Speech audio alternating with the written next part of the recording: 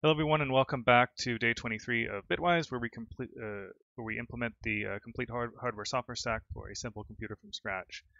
Um, so last time I had intended to start uh, getting into the coding for uh, our initial kind of reference toolchain for RISC-V, um, but the way it shook out, um, we ended up covering, uh, spending most of the time just covering the uh, the different instructions in the RISC the the core 32-bit uh, integer instruction set of RISC-V uh, and didn't get to the coding. And in hindsight, I think that was necessary to do, but it also meant that I felt um, maybe didn't get done what I wanted to get done. So in order to kind of readdress that balance, I decided um, to just get right into the coding today without any real preliminaries, um, except the following kind of uh, administrative note, I guess. Um, as we're shifting topics now from, uh, at least for now, working on the compiler to, to working on some of the RISC-V toolchain, um, I, I, had been wanting to cover ongoing work, uh, like basically making sure that um, code I was checking in was being covered at some level of detail in the on-stream coverage. Um, but I'm realizing, uh, based on the last few sessions, that um, it makes it hard to fit in the ostensible main topic uh, of the stream and give that appropriate time and focus. So um, for now, I'm going to de-emphasize that and not really talk about uh, commits that are not related to, um, to the ostensible main topic that we're working on in a given week or month. Um, and then hopefully once I get time to work on articles, which I'm planning to take a week off to work on that soon, so I can kind of get that bootstrapped. Um, if there's stuff I want to cover that's related to the compiler or other past topics where there's still work going on, but it's not something I want to spend much time on on stream, I will make sure that's covered in the articles so people can read that, but it won't take uh, take up stream time at least. So um, just to uh, to address uh, that change structurally. Um, so last time we covered a bunch of if if basically all of the instructions, and I talked about the rationale of certain aspects of the instruction encoding. Um, and let's see here. Um, and so I thought today, um, let, let, me first uh, say a, a, tiny bit about what tools we'll be working on in the first wave of implementation here. Um, the the the two the two the two tools that you could argue are kind of essential is some kind of assembler and some kind of simulator. Uh, the simulator is the one that would actually be simulating the execution of a machine, um, but then you also need to generate uh, machine code for that, um, for a binary image for that machine to inter- to execute. And um, so there's you potentially a chicken and egg uh, problem there if you implement both of those yourself. Um, the plan I'm planning, the, the, the, plan I'm plan, the plan I'm planning to pl- plan, blah blah blah. the plan uh, of attack that I'm uh, that I'm going to be using is to basically write um, that cluster of toolchain components in a fairly um, uh, integrated way, I guess, where uh, a lot of the data structures are common between them. And so, for example, um, there will be a common function for doing instruction decoding. In other words, going from a byte stream. Uh, what is a instruction de- uh, decoding is going from a byte stream to a decoded instruction. Encoding is going from uh, uh, an instruction and a sort of abstract representation to the byte level representation that can be put into memory. Um, and I plan to make those basic functions and those uh, common data structures uh, be used throughout, uh, you know, both the assembler, the disassembler, the debugger, um, and the simulator.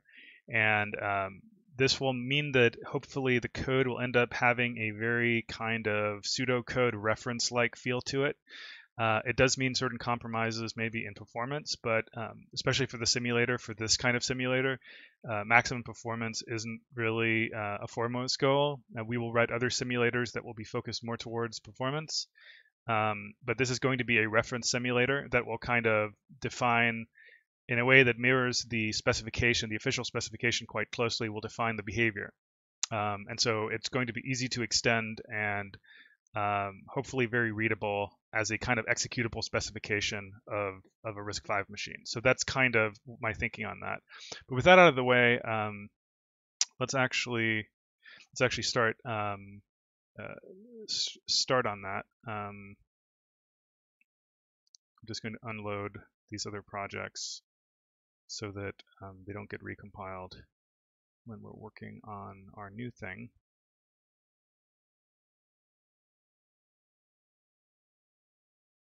Um, I guess even this. So let's just make sure that compiles and runs.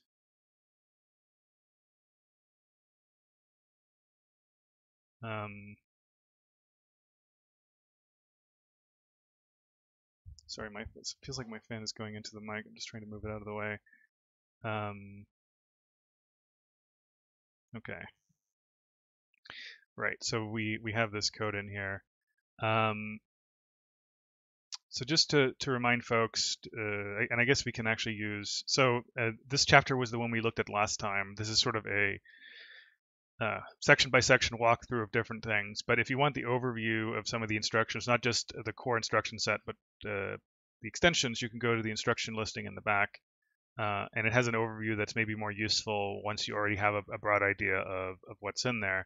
So you can see um, there's uh, here here's the opcode map. So you can kind of see how um, the opcodes are broken down into different classes. Um, and uh, if you look at RV32i, so this is the base 32-bit integer instruction set, um, you can see the um, the different instructions. Um, well, first off here, you can see the different uh, instruction formats. We covered these last time in detail. And then you can see the different instructions here, uh, what their various um, kind of opcode prefix bits are and uh, function bits and where their fields are located. Um, so we're probably going to be referencing this kind of thing in the back, um, more so than the uh, the one we covered in, in, the chapter we covered last time, just because the organization here is more useful for what we're doing.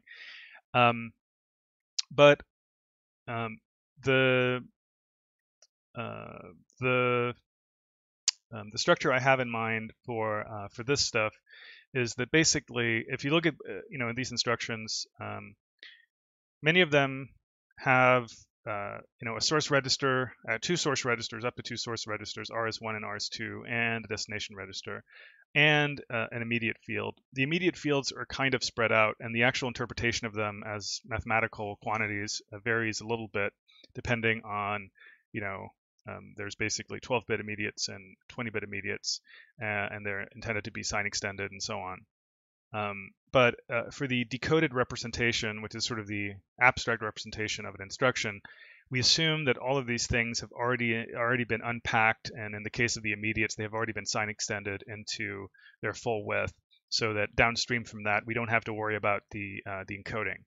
And so um, we're going to have some kind of uh, struct that represents a decoded instruction. And so um, there's going to be an opcode um, which represents, uh, you know, kind of an abstract opcode, not what not, not what they call an opcode here. Uh, and maybe I'll call it actually op rather than opcode just to avoid confusion. Um, and so the op will be essentially like a label, like these labels over here.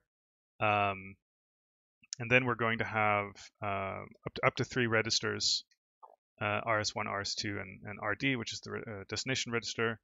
Uh, and then we're going to have a um, um, an immediate field. And the uh, the ops are going to be essentially what we have over here. So I'm just going to do a copy and paste so we can fill them in. Um, let's see here.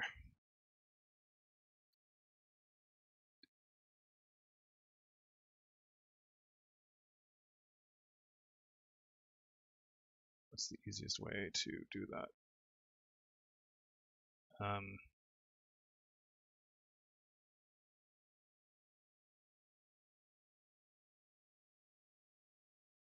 what is the easiest way, I wonder? Um, let me just type them out by hand. This is actually not helping. Um, so there's LUI load, load upper immediate, AUIPC add upper immediate to program counter, jump and link, jump and, and link register, branch if equal, branch if not equal, uh, branch if less than signed, branch if uh, greater or equal signed, branch if less than unsigned, branch if greater than or equal unsigned, load byte, and this is a signed load, load half word, load word, and then the um, the unsigned zero extension versions of those uh, byte and half word loads, uh, and then store byte, which uh, because they're storing directly into a memory slot of the right size, these are not doing any extension, right? Um, then there are the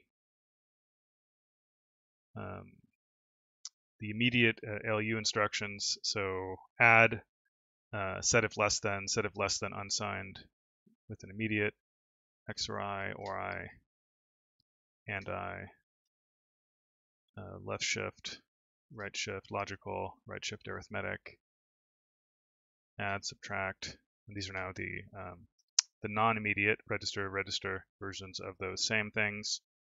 SLL, SLT, SLTU, XOR, SRL, SRA, or and fence, fence I. These are for uh, memory model stuff. eCall, eBreak, these are basically, um, this is like the syscall instruction, and eBreak is like the software breakpoint instruction. So if you think of int3 conventionally on x86 is like a software breakpoint, this is the same kind of thing. Um, and then we have these CSR, control status register, read, modify, write instructions. So there's uh, CSR register write. Uh, I can't remember, is it read and set and read and clear? So if we're doing things, let's see here. WSC and then N three immediate variants. So um, this is basically going to be, yeah, our um, our uh, version of this. I'm going to start counting at one just so we can detect a zero value if, if we don't fill it in. Um, um, boom, boom, boom, and then we need uh, some register uh, value, and we're just going to use an U uint8 for that. So this is, uh, in RISC-V, you have up to 32 registers, so that's a, 5-bit field, but we're going to encode it in a 8-bit uh, uh, variable, uh, or 8-bit, yeah, 8-bit variable, and then we will just ensure when we decode it that we will always make sure that the upper th three bits of that 8-bit location, 8-bit value are, are zeroed out. Um, and for word, we're going to use a uint, um, a uint 32. And this is true even though uh, these are usually sign extended when they're decoded. But um, we're going to basically keep everything as uints, partly because C, uh, C defines uh, overflow, assigned overflow in, in a unspecified way, and sometimes, sometimes compilers actually exploit it. So I'm going to try for this stuff to keep it as uints, and then if we need to do things that are explicitly signed ops, I'm going to be very explicit about converting that at the point where we're doing the operation, so that uh, the the actual storage type is uh, is unsigned. Um, so let's see if that compiles. It looks like it did. Um, and so um, basically and I'm not, I'm not sure if we're going to have this exact uh, function signature, but you can imagine now if we have a um, and, and, this may need to be extended to deal with like uh, bounds checking and error checking or whatever, but let's just do a very simple version. Uh, actually, I guess normally I would do this with a buffer. Um, let's do one that just takes the the the, the we can change this later. Um, if if you if you just take this directly, which is just the raw data, and you get back an instruction. Um, for now, I'm just going to return nothing. Uh, and then similarly for the encode, you would um, you would take the instruction um, and you would return the the data. And uh, we may change this from being return oriented to passing a destination pointer or something like that. But for now, let's just uh, stub it in like this. So uh, the job of these functions is basically to to implement the, the encoding we see here. And so um, let's uh, let's start with the decode. so um, if you uh, if you take the data and you look at the um, and so let's introduce some some constants here just to make it more uh, explicit. So here are seven bits, and so um,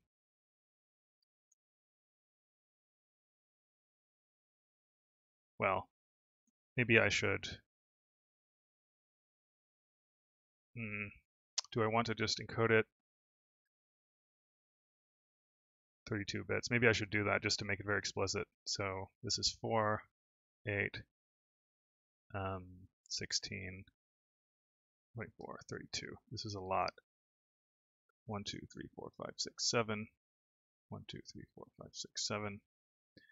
Um, yeah, actually, let's do this because even though it's very long, um, you can at least see the uh, you can see the fields very strongly if we line them up. Um,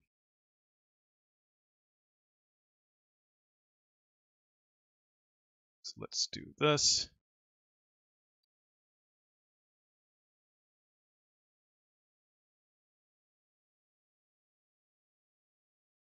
Um, so this is, uh, let's see, five.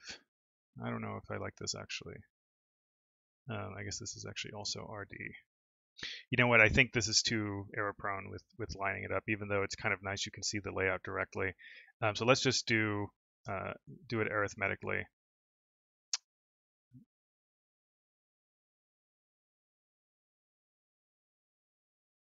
Um, so I'll just do it like that. And then for this, I will say uh, you have uh, you have five bits, and maybe I'll just call this like reg mask sort of generically because it's always five. And then I will say shift this over to uh, by seven bits. And then um,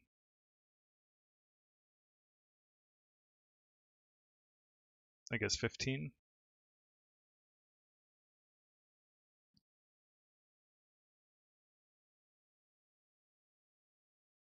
and 20. Um,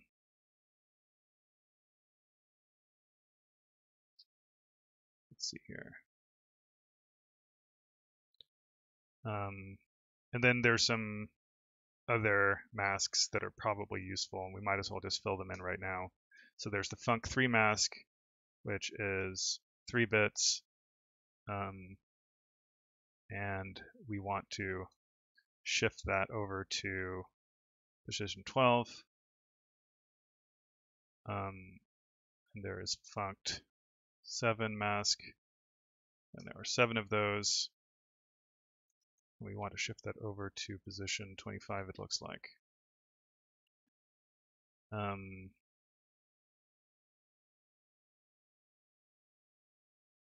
Let me just see if there's anything else that pops out. Some of these immediate app masks are a little more specific, I suppose. Um,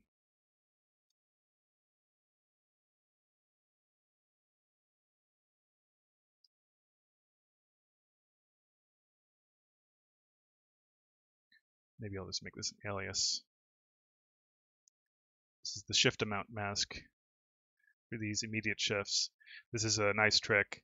Um, when you're shifting by an immediate, um, you uh, you know it's a 32-bit up to 32 bits, right? And so you have five bits uh, from the number of registers, and it so happens that at least in the 32-bit instruction set, uh, the number of registers matches the number of bits, which is convenient. So that's not true in for the 64-bit instruction set, uh, but uh, I, I believe actually can't remember, but maybe in the 64-bit instruction set there's wider shifts in the immediate or not. I mean, you can always do multiple immediate shifts uh, if you want to synthesize a wider than 32 shift.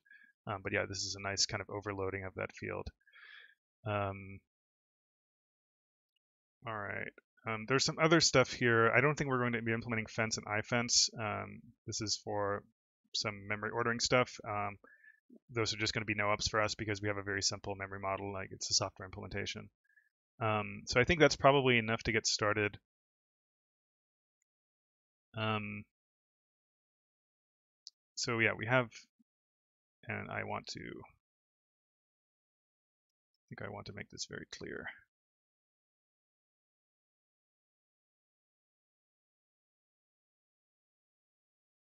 what these types are. Um, so first we have the opcode.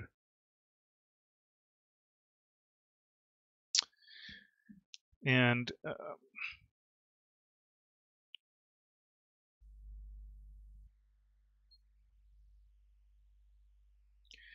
the lowest three bits, I believe, are always fixed um, for this part for this uh, base instruction set. You can see they're not mentioned here. So zero up, or I guess maybe the lowest two. Let's see. Yeah, they're always one one. Um,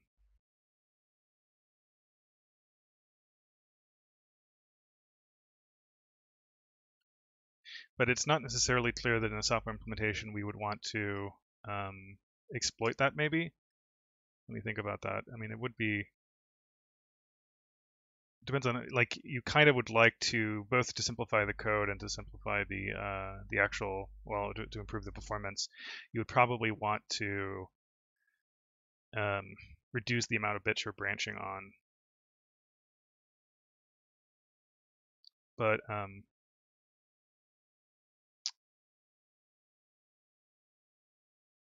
maybe we don't have to do that for now. Um, so we could just directly uh, branch on these.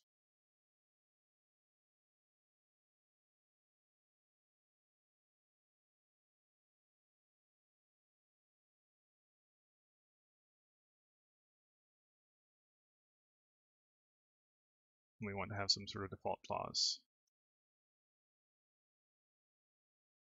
Um, for now. We'll just put it like that. It'll it'll need to mark uh, mark it as a legal instruction. Uh, and actually, maybe this is uh, maybe I will use that slot as being illegal, illegal op. Um,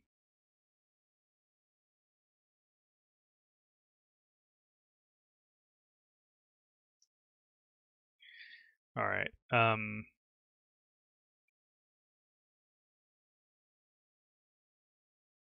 So the so so the so uh, the opcode bits here are not they're not unique. They don't fully describe the instru- uh, the operation because uh, you can see for a lot of these, like all of these uh, branch and compare instructions, they have the same opcode, and then you have to look at this func3 field in order to further disambiguate them. Um, so there's a question of how best to do that sort of staged decoding, um, but let's just do something uh, straightforward, which is a nested switch. So um,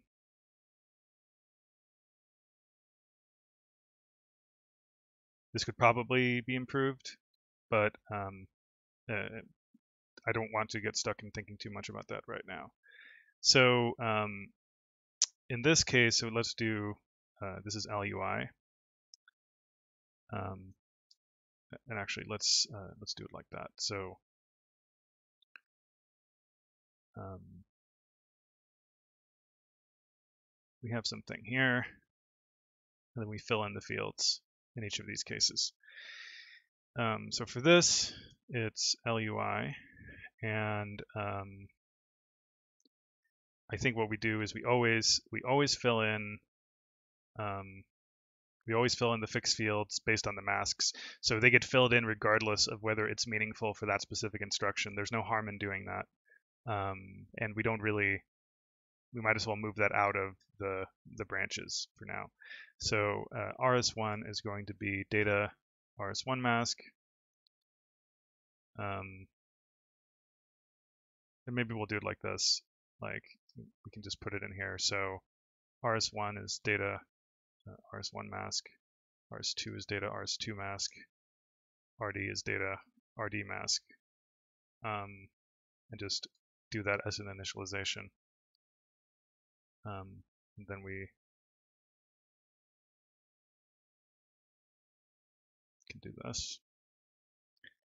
Uh, and then we fill in um, I guess we can just fill in the field directly.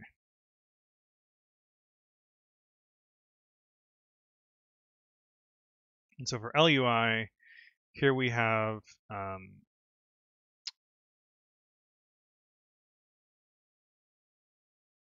what is this? From the 12th bit onward, I guess, we should have um,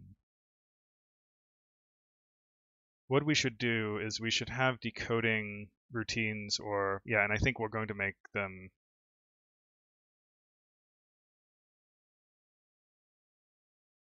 let me see here. Can we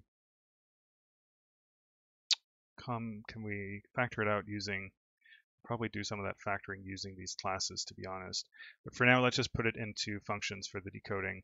Um, and then we'll, we'll see if there's a good way to refactor according to the opcode map. But um, so so let's say uh, decode. Um, so this is U, right? Decode U instruction. Um,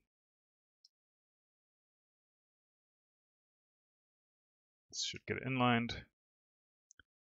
Um, famous last words.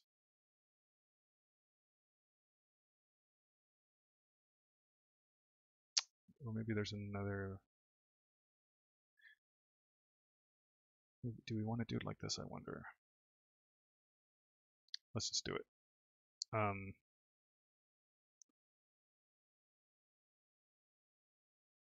let's do it like that. And then we say this is LUI. This is the data.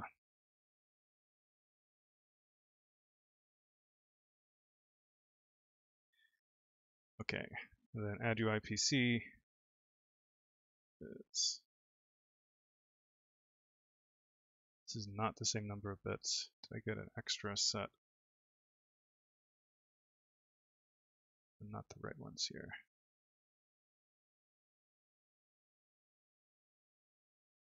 Looks like we got an extra one.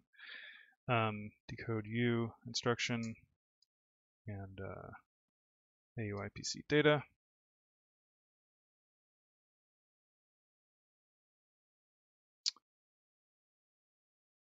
And again, not going to try to factor out according to the opcode map similarities. Let's just get it in there for now. So um, this one is decode. So this is the J-type.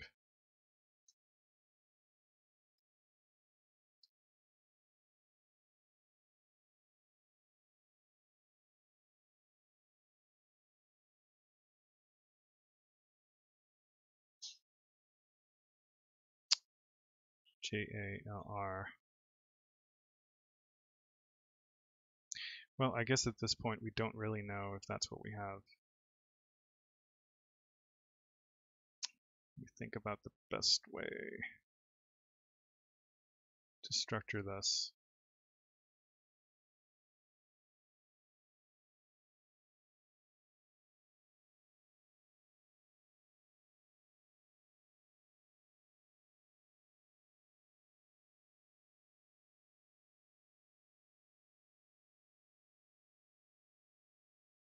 So these are fully determined by just their opcode bits. These require us to look at the function 3 bits.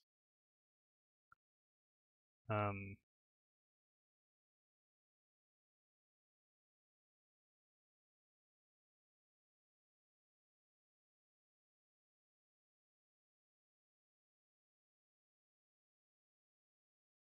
hmm, the best way to structure that. I could do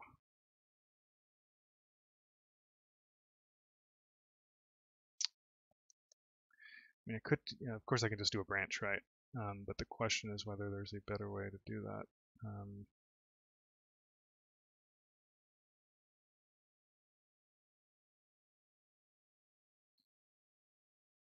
let me um, um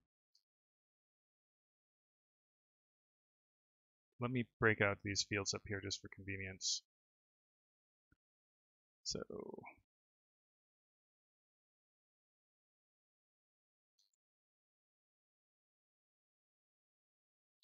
might as well break out these as well.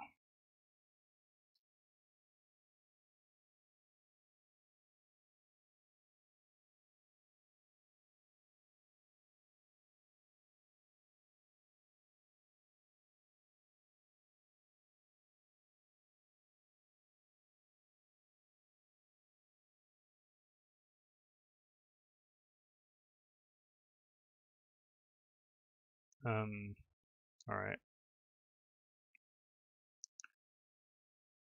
Let me label these just so I can see at a glance what I'm dealing with. Um,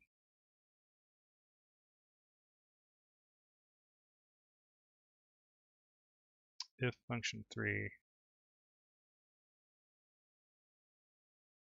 is equal to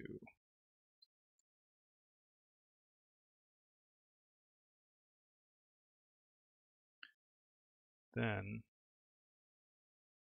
it's an I type.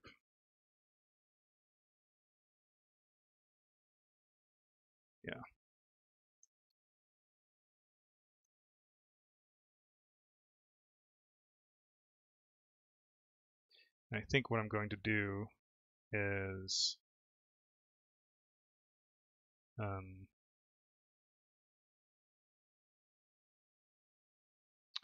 you can actually leave it initialized to zero since that's int intentionally the legal state.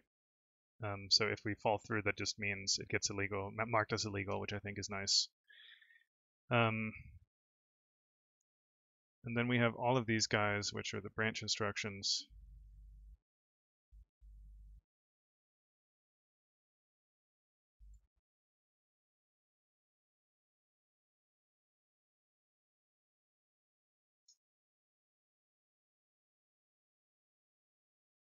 Um, and for those, we will do a, well, I think we won't do a secondary branch. We'll use a decode table.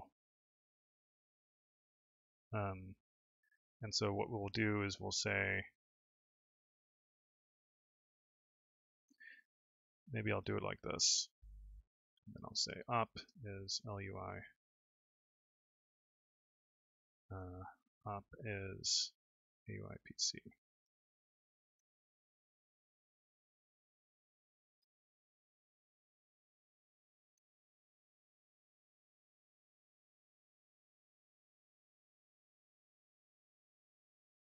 Um, and then for this, we will do decode, I guess it's B, right? B instruction. Data. Um, but then we will, for the op, we will do um, branch op. Let's see,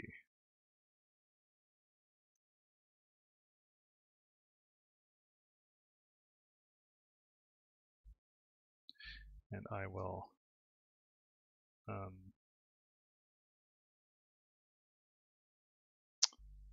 I will create a table, which I guess will be like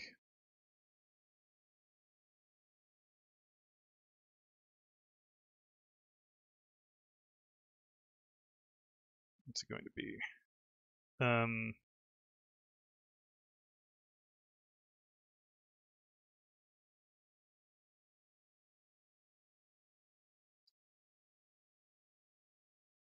how wide is it going to be?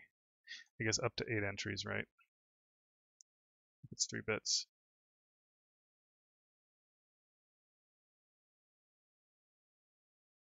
Um, so that's BEQ, and we need how many of these? One, two, three, four, five, six.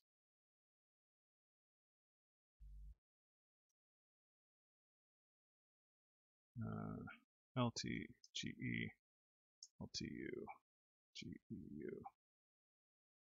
One, two, three, four, five, six. Um, and this is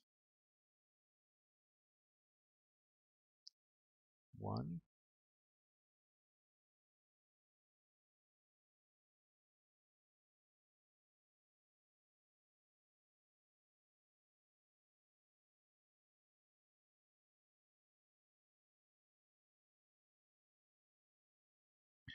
And so again, this is where having the illegal op be zero works out very nicely um, because the default initialization, zero initialization from this table means that if you if you hit this case and it goes through, then uh, things are still good. Let me just stub in these, uh, or not stub them in, but let's um, let's just put in dummy implementations so we can compile the code incrementally.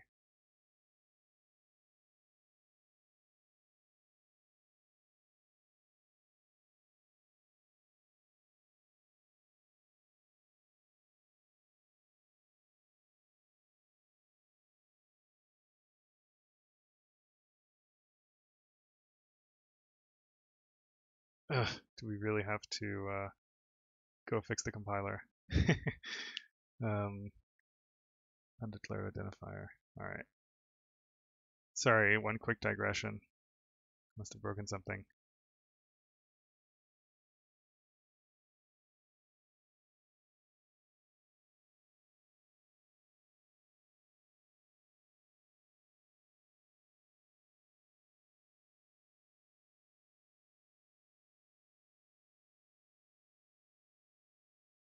RISC-V op.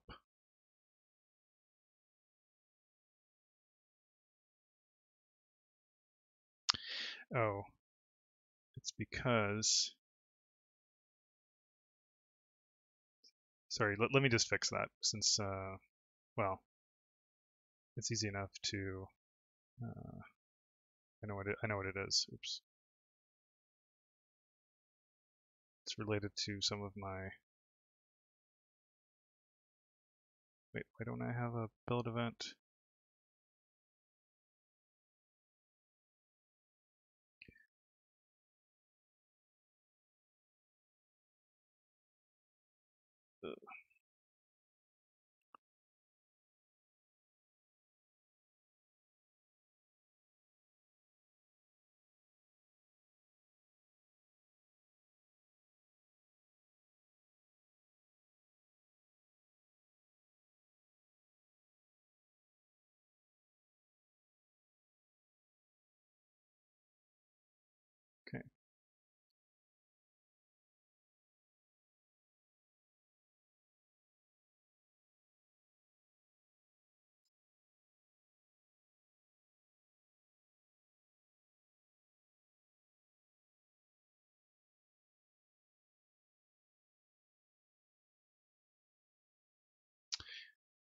All right. Sorry, let me just go and look at that quickly. Um, fullgen should smart reachable. It should always be.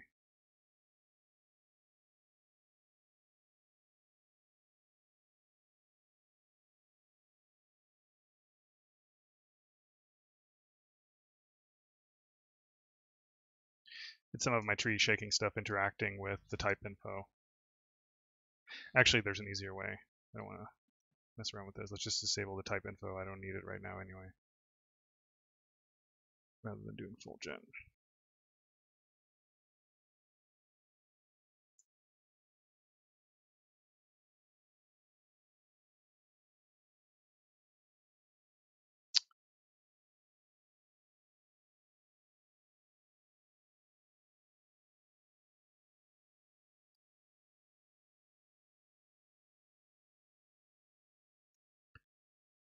All right.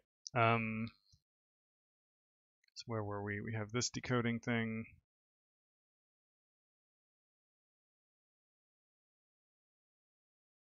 Why is it giving me squigglies? All right, anyway. Um, so let's just recap what we did.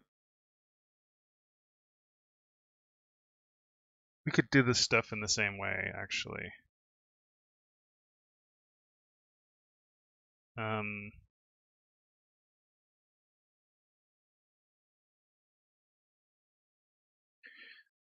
you can always unconditionally decode stuff. So let's just follow that pattern. But in this case, let's just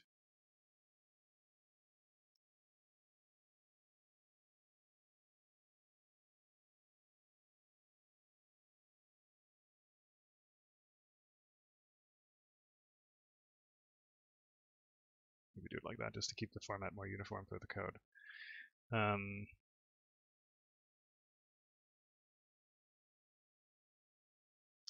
so the loads all have the same opcode.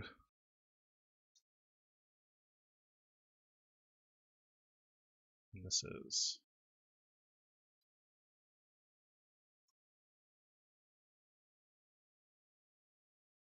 and uh, this is a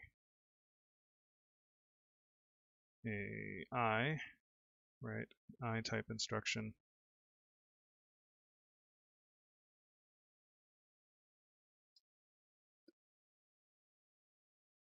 And this would be also a func3.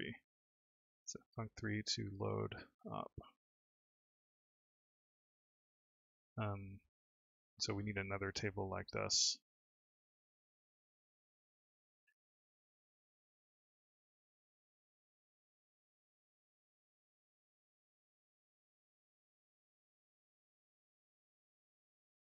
This one has 5.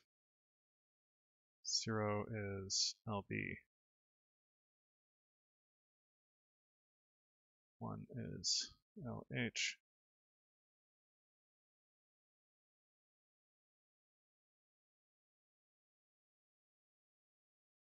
This is W.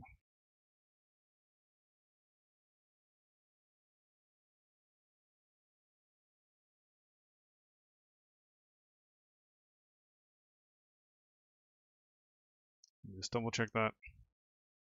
0 LB, LH, 001, 010, SLW, 100. So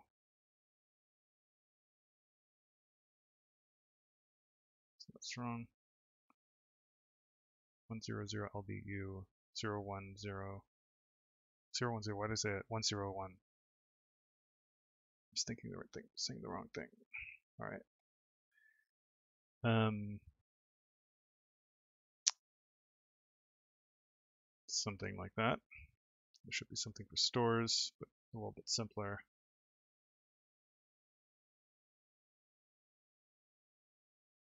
This would be SBSHSW.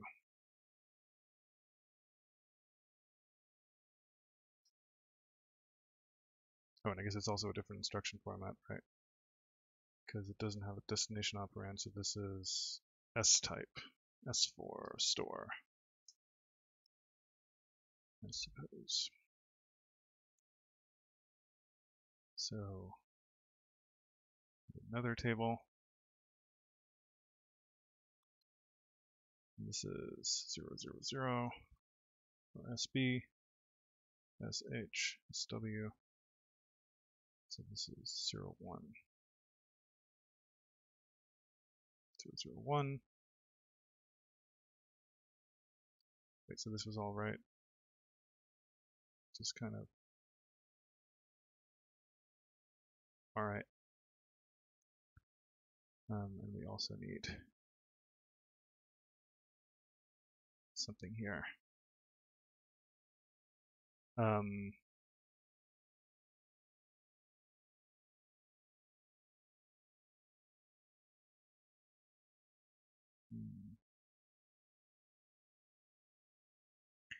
Then we have all the, let's see, these are the immediate ALU operations, but no, it's not just the immediate. It's the, all the ALUs and they're distinguished by a bit in the func3, whether they're immediate or not.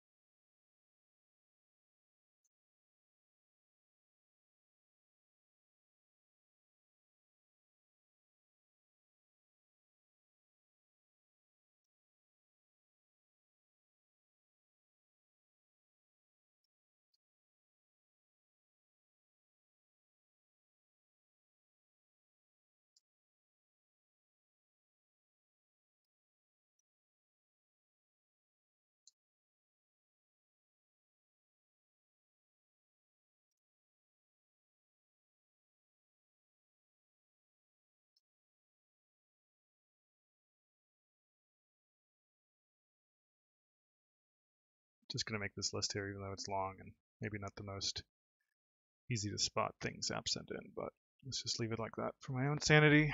And um, you can see there's kind of a three-way breakdown in terms of the format beyond this. Like there is the I-class things, um, and then there are the shift style, shift immediate style things, which cannibalize RS2 as the shift amount, rather than using a normal immediate field. And um, and then you have the register register operands, which are their own third class. And so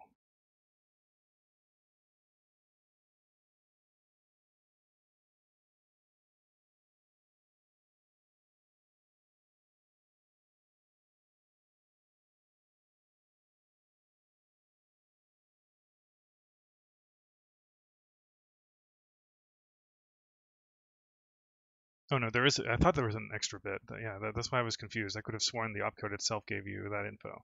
Yeah, so there's a one here. So this is not the same at all. So all of these eyes, right? Sorry, that, that's what I thought. That's why I was confused. Um, so there's two cases. Um,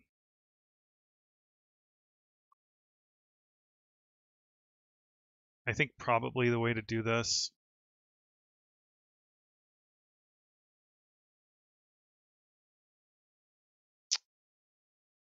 well, let's see.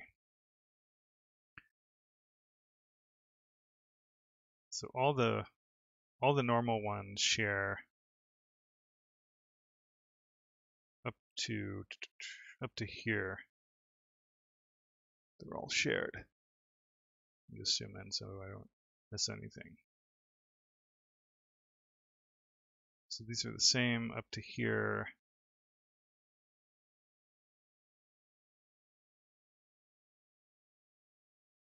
And then they are distinguished by funct.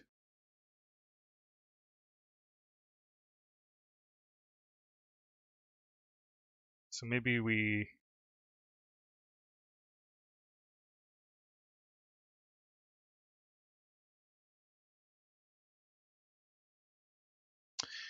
maybe for this we will do a second level dispatch. So funct3 to, let's call it um, funct3 to m op.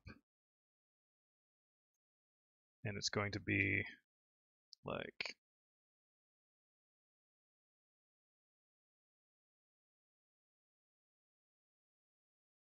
so 0, 0, 0 is at i. Um, this is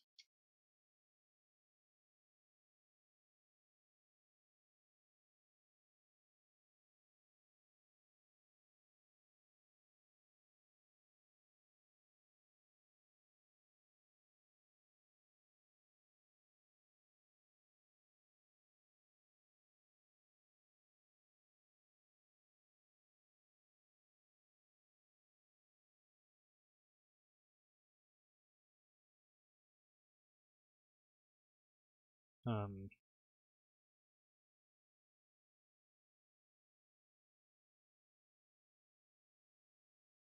sorry, like this is the kind of thing that actually makes my blade brain, uh, my brain bleed uh, with all these numbers and my diminishing eyesight, I suppose. Uh, well, and also I'm on a 14-inch monitor, so there's a limit to. Uh, anyway, so uh, XORI, so let's see, 000 is ADDI, 010 is SLTI, 011 is SLTIU, 100 is XORI, 110 is ORI. Um, this is ANDI, and, um, and then we get to um,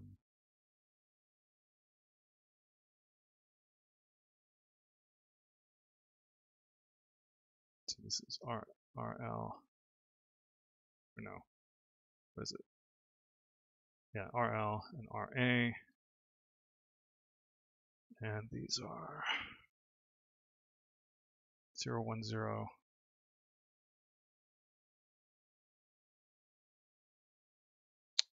Oh, and these are both that, and then they're further distinguished by funct 7.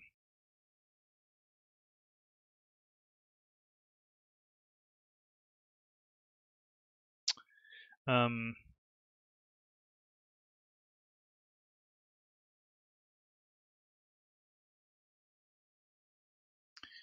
so we need a further decoding for those.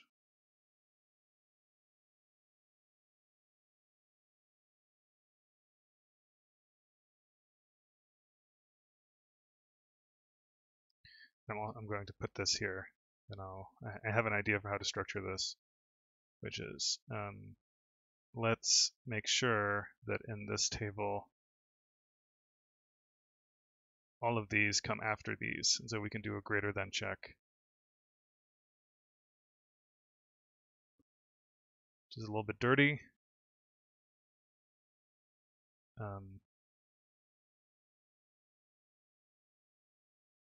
func3 to m up if op is greater than uh, ANDI. So in this case, we decode an I instruction.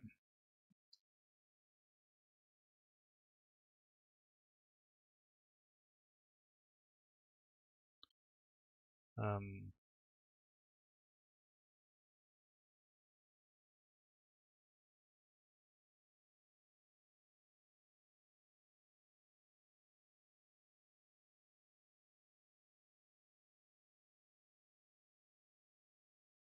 maybe these upper, let's see, let's see if these are shared for the, no they're not, so let's just do it that way.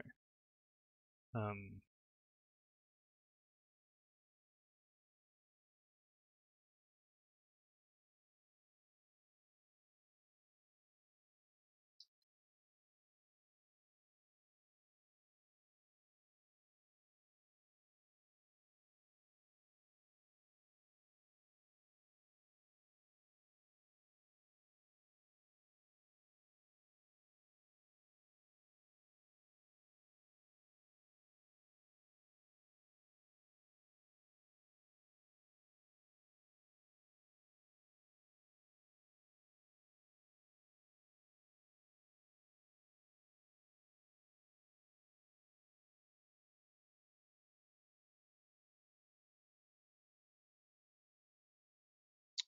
So we, we can't do that purely on the upper. It's only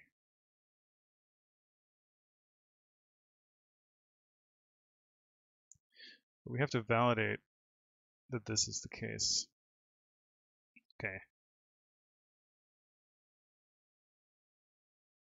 So maybe we'll do this a little bit more um, manually.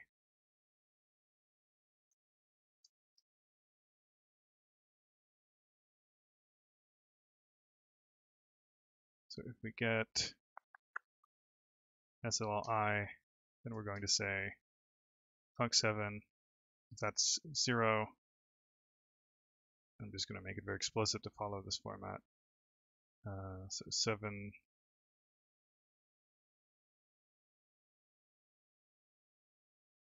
seven zeros. Then we get that, else we get zero. Or legal up. Um, if we get this, this is also this, um, then I don't know if we want to use a table for that.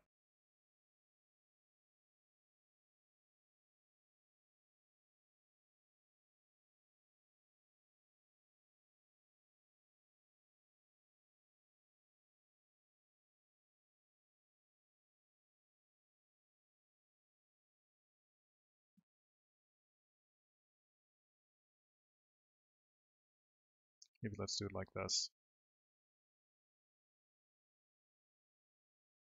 Um, all the other bits have to be zero. That's one way of expressing that. One, two, three, four, five, six, seven.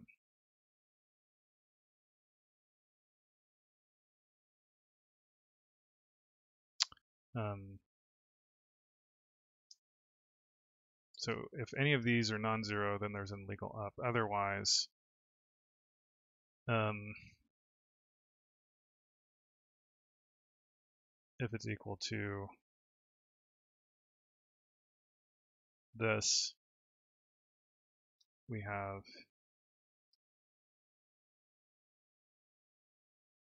let me write it like a normal person.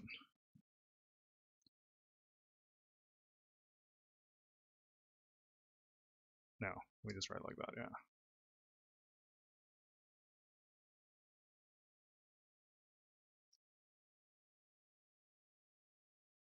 Um,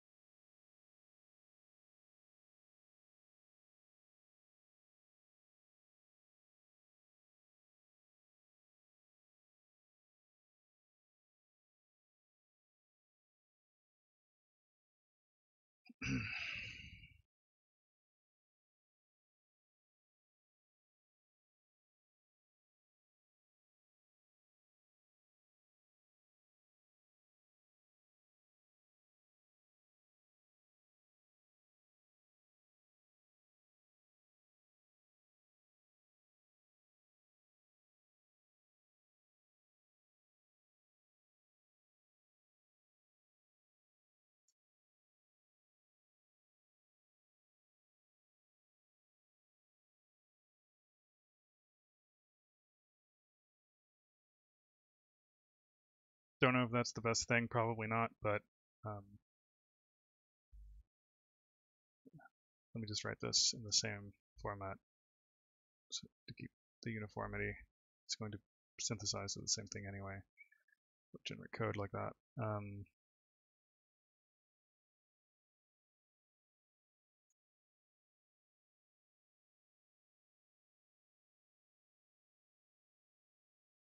I mean, these these subsidiary encodings could be moved to tables, but um, let's keep it like that. Um, so that's it for the immediate instructions. Then you have you have these fence things, which are pretty specialized.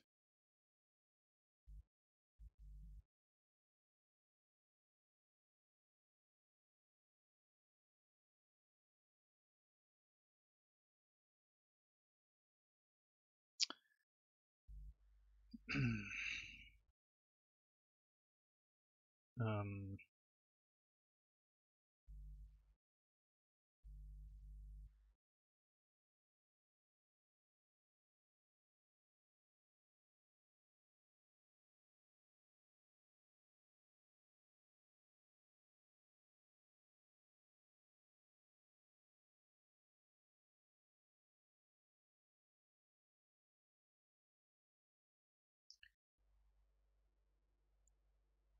maybe I want something called fence mask. Um, just to be able to do that easily.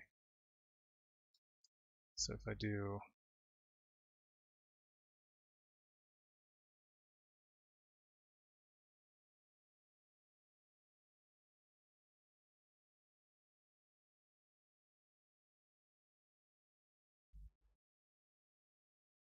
hmm,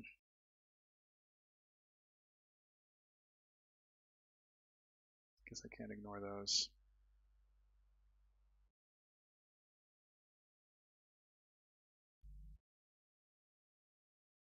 Actually, this is a good opportunity to put something into the Lexer that someone had proposed so that we can read this stuff without uh, breaking our eyeballs. Um,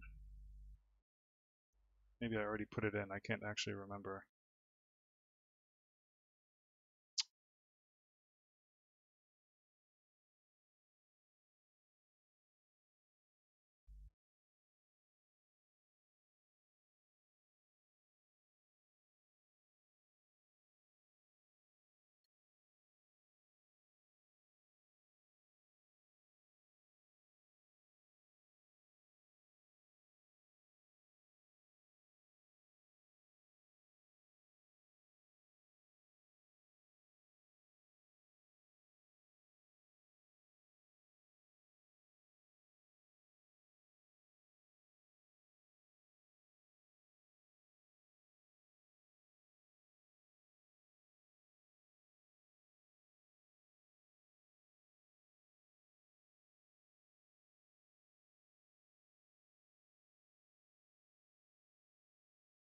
So it thinks we're still inside an expression.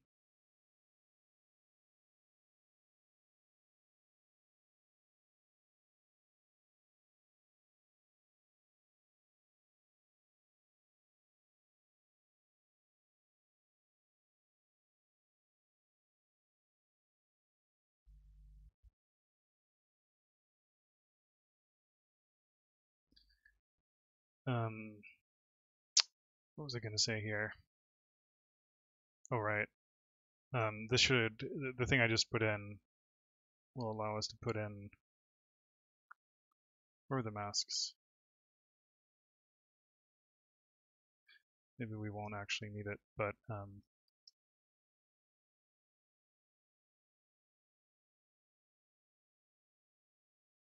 see if it works.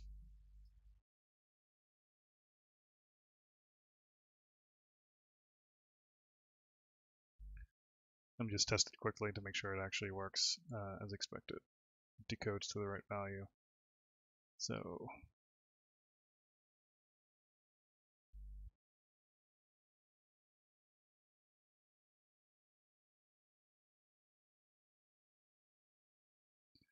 that does work. This is negative tested. Yep. Um, unfortunately, the C syntax highlighter does not like that very much. All right, best way to decode this. Um,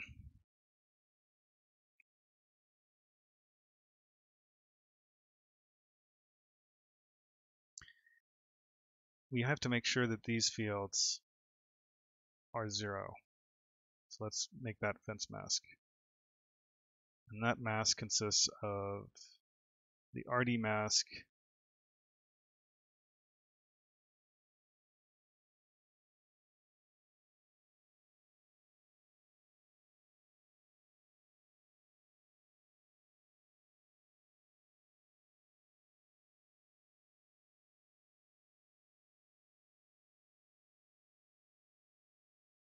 These bits, not these bits. One, two, three, four, five. One, two, three, four, five. Uh, not those bits. Two, three, four, five. One, two, three, four, five. And I guess not these either. These have already been decoded. One, two, three, four, five, six, seven.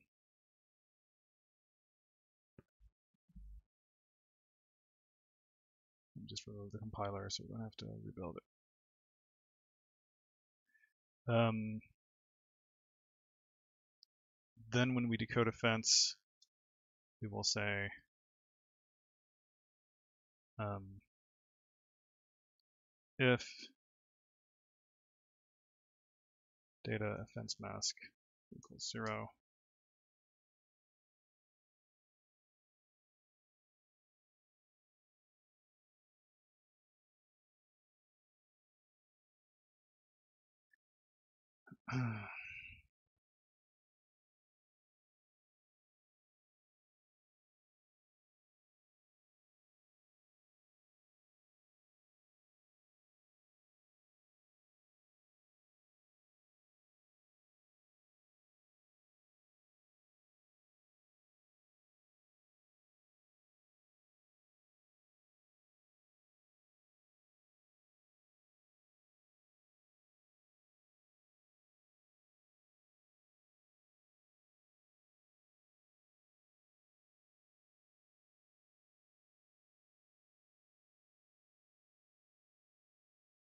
you know, I'm not going to decode these. Um,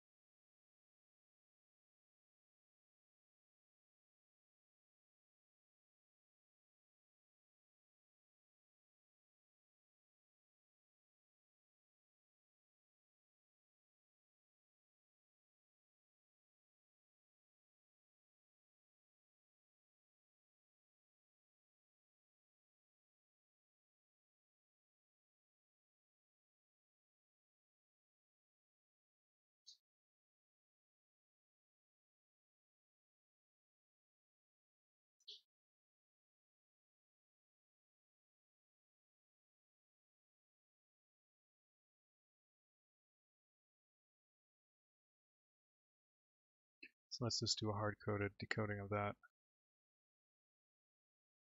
And then for this, um,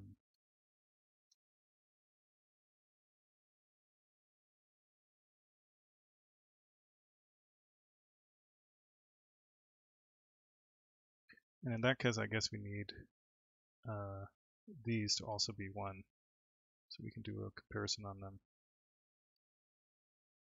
And basically want this pattern here. Um,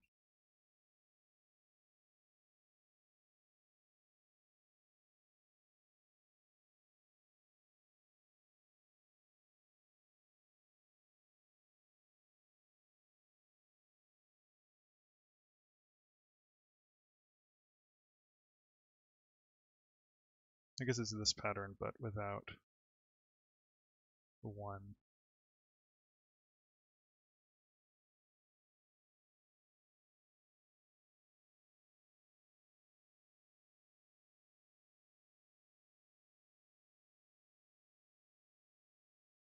By the way, as it's as it's hopefully becoming evident, this encoding that they use is not designed to make it easy for software.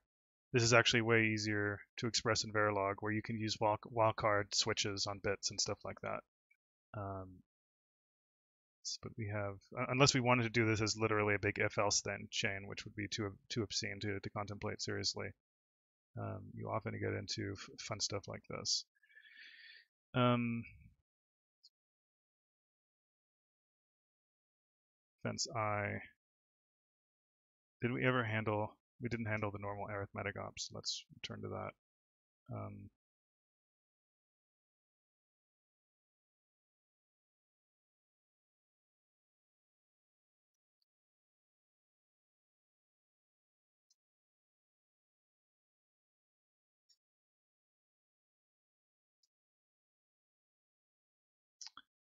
Um, these all have uniform instruction format, even the shifts, because now we don't have this weird shift immediate being 5 bits encoding trick. So this should just be a matter of doing another uh, table, although in this case, no, I guess it's not quite true because we have a mixture of these. We could make the these into a combined 10-bit table, which is a little bit big for something so sparse. Um, because almost all these are zero.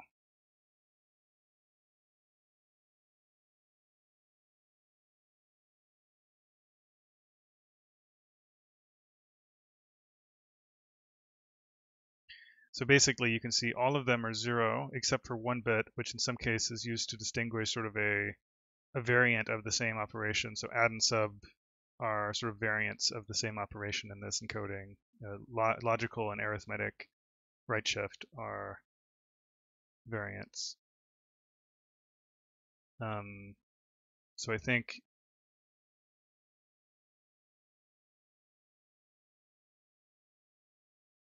The best way to encode that? Well, first let's do just func3 to um, to regop, let's call it. And uh,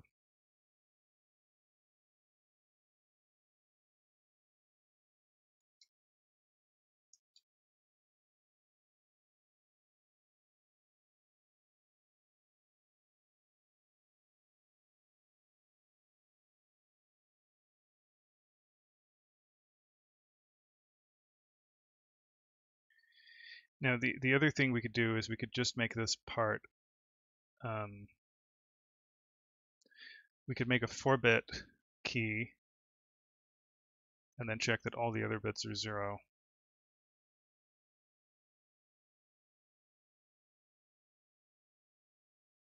So this is the bit, second highest bit.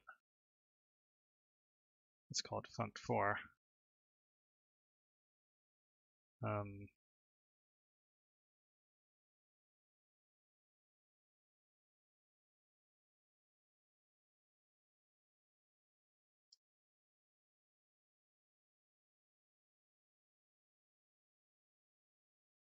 So this would be add, and this would be sub.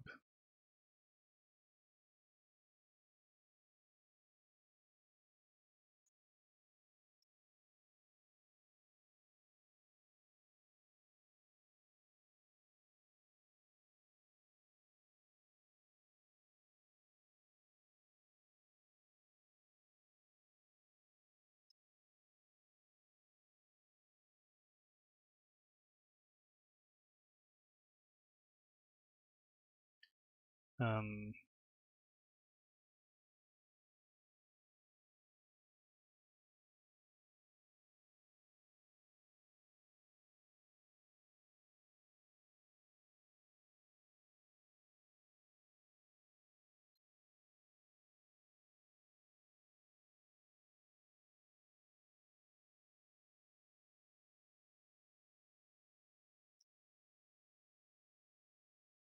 so SLT SLTU, they both have that zero bit.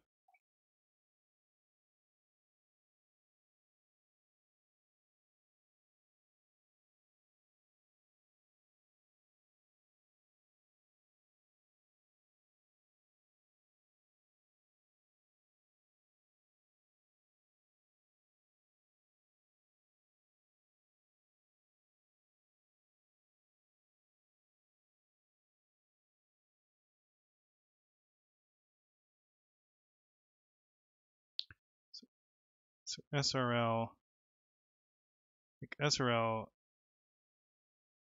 oh, so that's shift right logical. So we already have SLL, right? So this one has zero, and then the next one has one.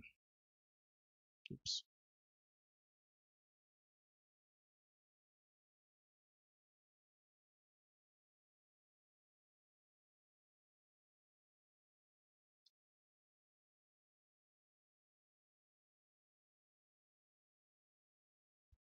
And these, this is OR.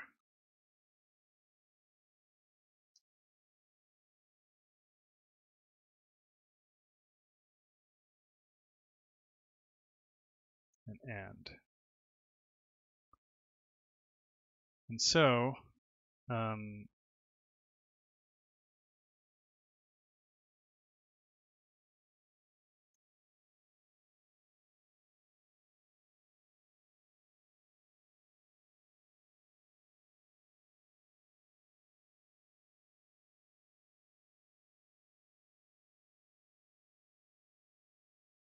One, two, three, four, five, six, seven.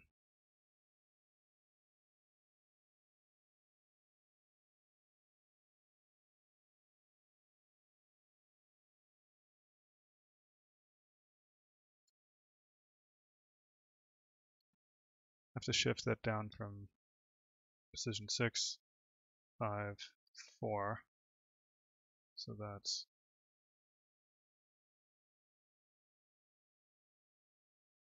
1 over 2 over. Yeah. Actually, let me, split that out.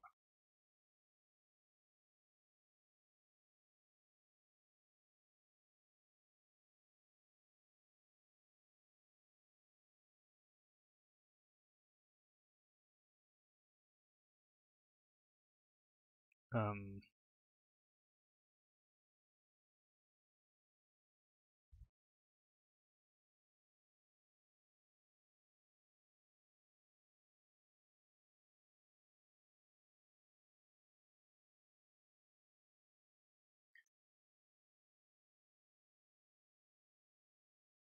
let's call this mask. Um, then you want to say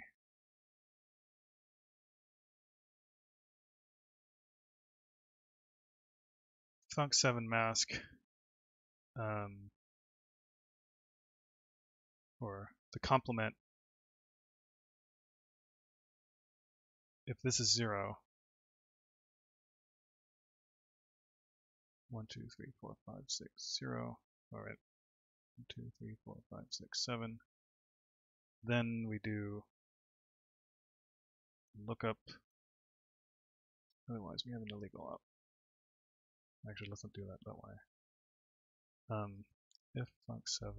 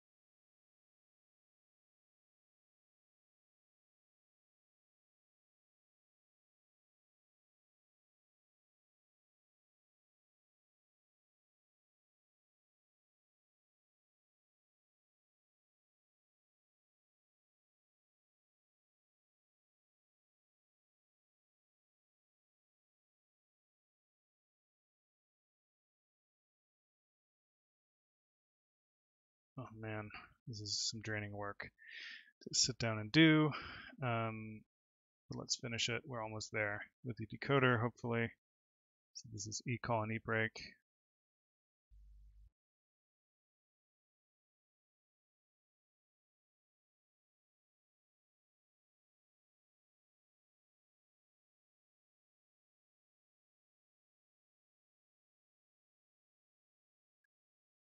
Um,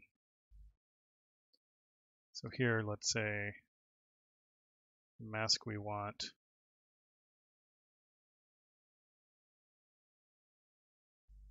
mask we want is all of these bits. Um, except that one.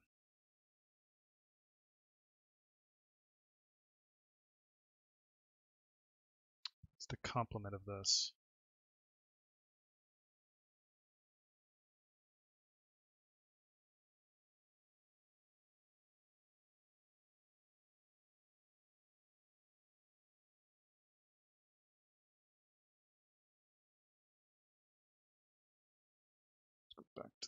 Before I start screwing with it.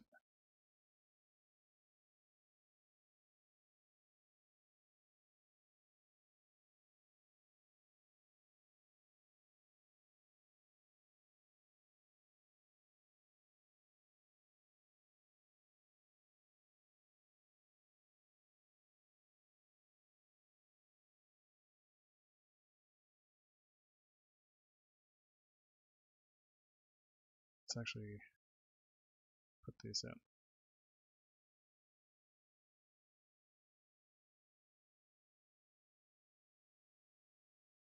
Should have left them in up here too. I'll do a pass on that later. So uh, this is the mask. Let's call it like that. And then you say if funct if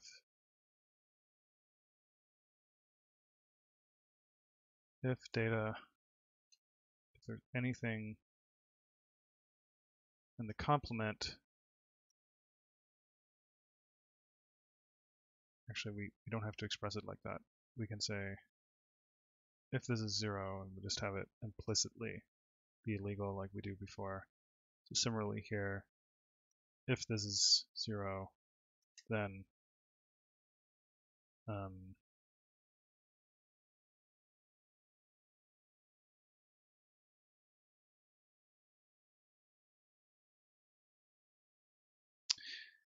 guess since you have to do two branches anyway, at least if you don't use a table for the decoding,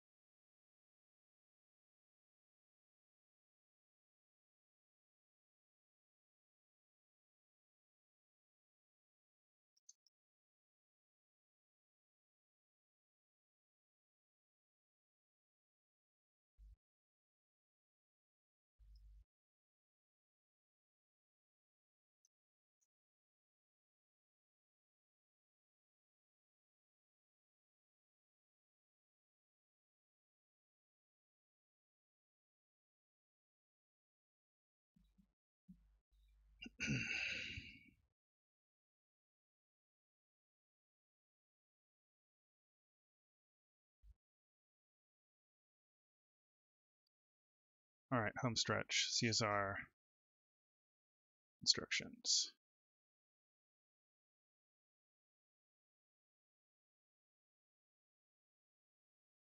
Oh, right, these are actually all the same opcode. I forgot about that. Um,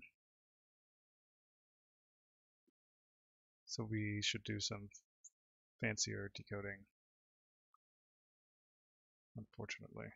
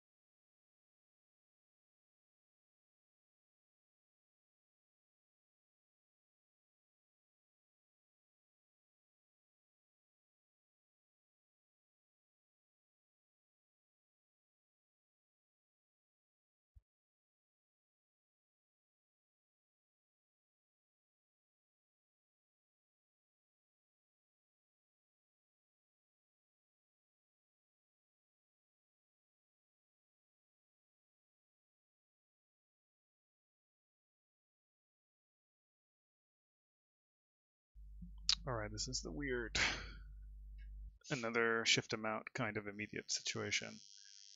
We have this very small immediate. Um,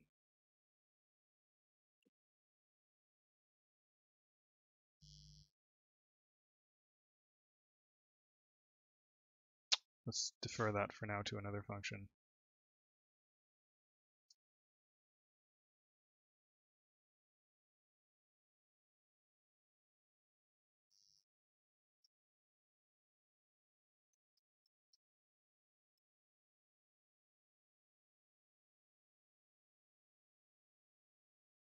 All right. We've written a bunch of code. Um, we probably won't have. Uh, I think this is a good stopping point, even though I can't really test anything right now. Um, I also need to write these uh, instruction format specific types of decoding routines, which should be uh, significantly easier than this mess. It's less ad hoc. It's just a straight line code. Um, but yeah, uh, now you see the fun of dealing with stuff that's designed for machine decoding in a software decoder. Uh, and this could definitely be done better, but um, this will probably improve over time, but this is kind of what I could come up with on the spot, and more or less what I've done in the past for RISC-V. Uh, a little bit different. Um, so I think I'll continue in the extra stream, uh, and uh, let me do QA first, and then we'll cut over, over to the extra stream. But yeah, this was pretty grueling work. This is kind of data entry, and there's bound to be a bunch of mistakes, of course. Uh, and I'm not going to rely on getting things right. I'm going to test with existing binary images that are known to be like that are generated by other tools, so I can validate the correctness of this. Um, so yeah, it's not going to be correct in the first pass. All right, let's see what people were saying earlier.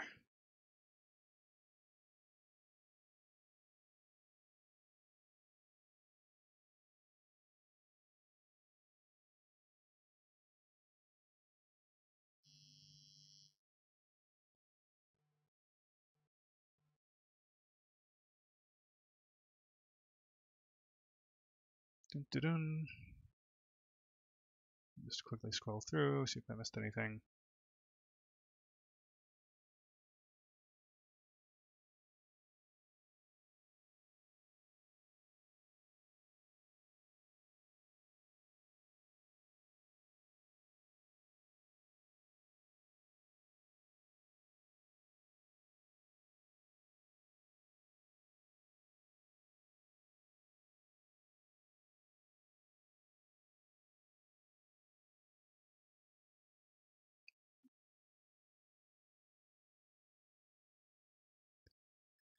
Uh, earlier, someone was asking, why do you think C is preferred over C++ for system level programming when C++ has more features than C? It depends on what you mean by systems level. For game programming, some people like the extra features. If you're writing a kernel, the fe the features have very marginal added value, and you want things to be explicit. And C++ encourages code that is concise in a way that tends to blow up in code generation. Which, if you're trying to control exactly what your uh, your code is doing is not great. So I think broadly the answer is that systems programmer prefer generally systems programmers generally prefer things to be explicit, even if it means a bit more typing, like manual typing, not static typing. I mean. Um,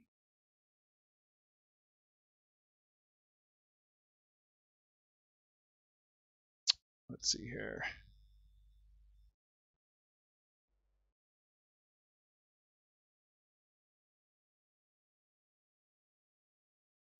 All right.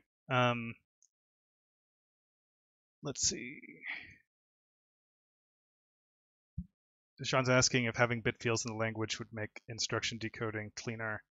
I think what would actually make things cleaner is intrinsics for, like even just having intrinsics for doing bit slicing. And you could write the functions manually, but having functions that let you operate on fields directly, I think would go a long way rather than having to do shifting and masking kind of uh, separately and whatnot. I think that's what I was planning on having eventually, just in the standard library. But then they can they can be implemented as intrinsics with guaranteed implementation that's efficient or whatever. Um, all right. Anyway, uh, I'm going to cut over to the extra stream. I mean, like this is going to be awkward for a while until we have a way to test things, right? Um, but this is just how it goes when you're starting on something like this. So uh, uh, this is about taking. This is going about as how, how how this is about as painful as I was anticipating, which it always is. But uh, but anyway, I'll cut over to the extra stream. Although I need to get before I start recording again, I will need to get a uh, a drink. But uh, I'll keep the stream running. So be back in a sec.